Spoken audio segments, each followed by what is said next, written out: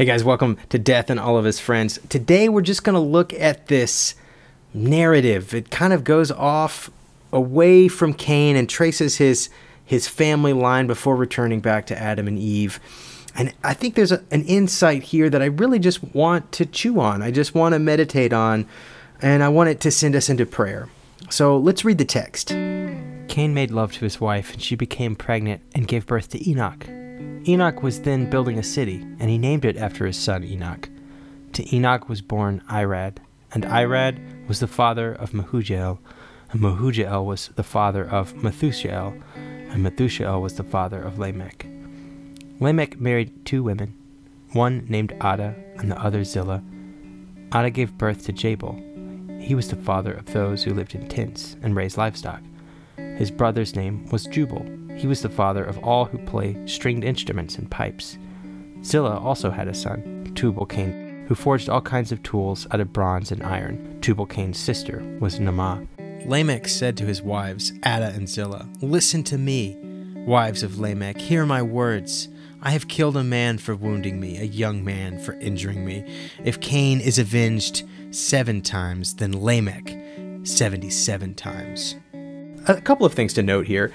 One of the things that we find encouraging about this, let's focus on that first, is that we have this kind of general grace of God. Remember when God told humanity to fill and multiply and to rule over and reign the earth? Theologians call this the cultural mandate. The idea that God would co create with humanity, that something would happen and you know, they put him in an orchard and so they, they tend to the earth, they care for it.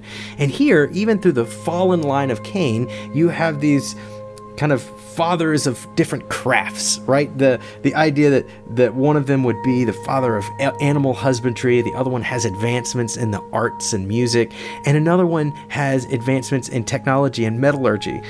And so, how are we to, to read this? The the Genesis author is kind of showing us more than telling us that God was with them, that, that there was still goodness, inherent goodness in even this fallen humanity. So we might have this suspect view of Cain's line, uh, and, and we're going to get to that, but we also understand that God is generally with all of human culture. He's not totally removed from any human culture. So let that continue to, to as we to trace the narrative of sin that we see the marks of God's grace and his presence even as in a group that has withdrawn from him or been exiled from him. So let's return to that exile. Remember what Cain was afraid of at the exile was someone murdering him.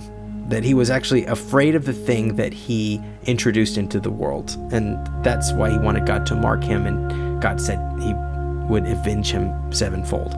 But did Cain believe God? Well, some theologians have seen Cain's city building as an act of rebellion further evidence of his distrust of God. The city, and, and especially you think of ancient Near Eastern cities, they're really confined by their walls. They're defensive in nature. And Cain, as a city builder, seems to be Cain, the one who does not trust in this mark that he is building his own defense, that in a way we could think of him becoming more and more calcified against God, his spiritual decay becoming more absolute. Now, why would I say this? Well, by the end of this, we meet his descendant, Lamech, and Lamech is a problem. Theologians have noted that Lamech treats his wives as if they were property. It's the first report of polygamy in the Bible. And he's singing to his wives, celebrating his murderous heart that he killed somebody for injuring him, a young man, and that if anybody is going to be avenged, it's going to be him. We have someone whose violence is celebrated. You see, what started as a seed in Cain, the struggle, has been passed down to the generations. And as the grace of God was amplified through the artistry and the development, the cultural developments of the line of Cain, something else has been amplified sin patterns. It's with this that I want to send us into prayer. What this text seems to suggest, given its genre and its nature, is that sin patterns can carry themselves throughout the generations. That something our forefather has done can create a pattern in the family systems. You may be familiar with family systems kind of thinking. It's something that's that's popular in, in psychology and ministry practice. The idea that inside of a family system there are traumas that are perpetuated and begin to shape the, the next generation and the next generation and the next generation. And so, what we're looking here is at the intergenerationality of sin that sin can unfold in, in a family system. And I would even say in a in a cultural group, in a tribe, there are sin patterns that become celebrated, that become enshrined and passed on, echoing his ancestors' you know, avenge narrative as if it's something to be celebrated and this, as if he's eclipsed Cain. Like, oh, Cain, you know, he just murdered his, his, his brother and was avenged sevenfold. I'm going to be 77 times avenged because I'm that much more uh, of a big deal. I'm, I'm that much worse. So, so let me just ask a question. So, break it away from this, this text and kind of take a look at it. Can we fall into the patterns of our parents or our parents' parents or our parents' parents' parents? I think we can. I think this text is saying that that's the case, and it's all throughout the biblical narrative that theme resurfaces over and over again. That family systems do bear on the areas of, of sin patterns and maybe anticipates them to some degree. As a response to this text, as we've just hovered over it and thought about it, why don't we let this launch us into prayer for this session? That we would contemplate the ways in which sin is intergenerational. So let these ruminations stir us into prayer and reflection.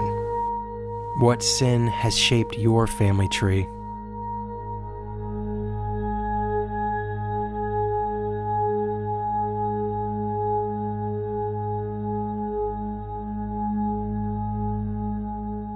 How do you fall into similar patterns as your ancestors?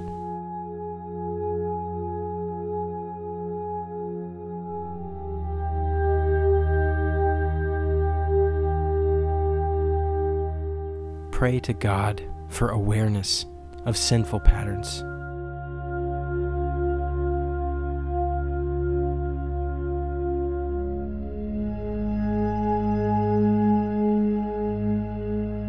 May we reflect the family of Christ.